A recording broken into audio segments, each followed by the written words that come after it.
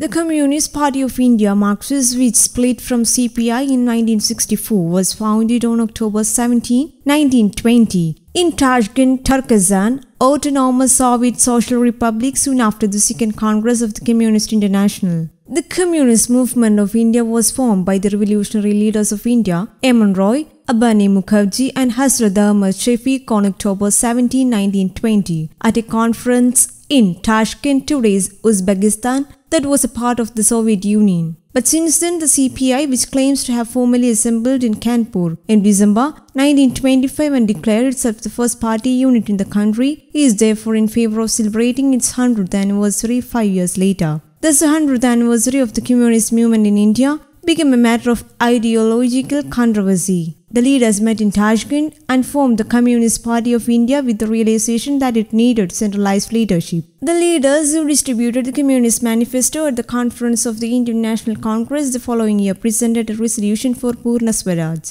Communist leaders claimed that Indian freedom is not only freedom from slavery but also economic and social liberty. Since then, communist groups have been activated in Mumbai and Calcutta. These groups became active in Kerala in the 1930s. E.M.S. Namboodiripad, Indian communist politician and theorist, did not recognize the Communist League formed by N.C. Sekhar and Ponnaraj Sridharan in 1931 as a communist group in Kerala, which led to a Cold War between Sekhar and EMS. Thus, in 1937, Parappurathu Krishna Pillai from Pinarayi, N.C. Sekhar, EMS, and K. Damodaran formed the Communist Party. They were the socialists within the Congress. The Communist Party was formed in Kerala on January 26, 1940. The first communist government in India through a parliamentary system came under the leadership of EMS on April 5, 1957. What happened in Kerala was as expected in Andhra Pradesh where the Communist Party had strong roots. The education and agricultural bills of EMS government were revolutionary. The first government came into an end in two years through the liberation struggle. Ideological disputes within the party, which was formed after the split, fueled constant disputes. M.V. Raghavan and some other leaders argued that the Kerala Congress and the Muslim League should be mobilized to destroy the anti-Marxist governments like the Achuthamenon government of 70s and the Karunakaran cabinet of 82. The V.S. Pinarayi disputes caused controversy at the Malappuram State Conference in 2005.